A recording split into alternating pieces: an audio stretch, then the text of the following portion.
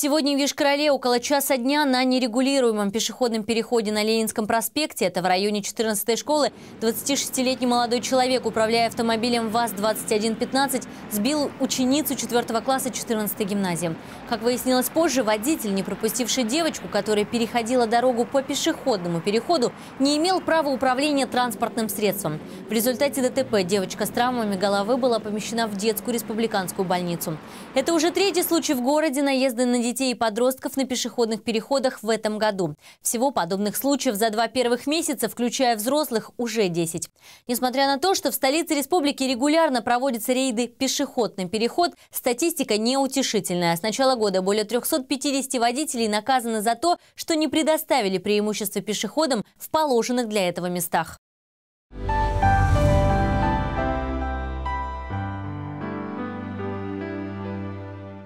Собирайся, народ, водить хоровод! Боярыню Масленицу провожаем! На шумный праздник всех приглашаем!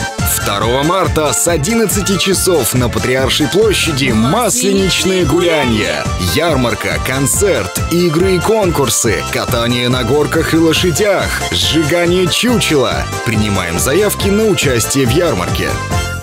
Вы любите эти группы? Вы знаете их песни? Да!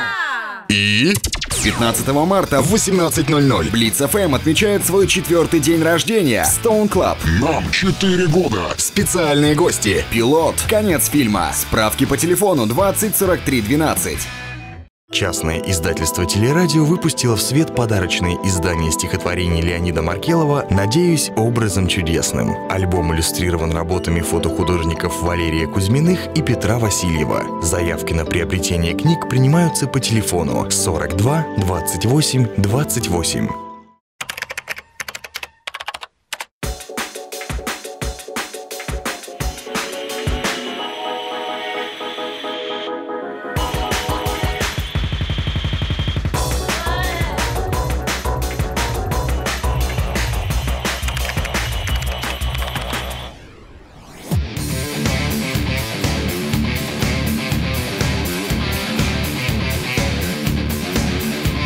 Информационная служба ТВ и радио на Патриаршей.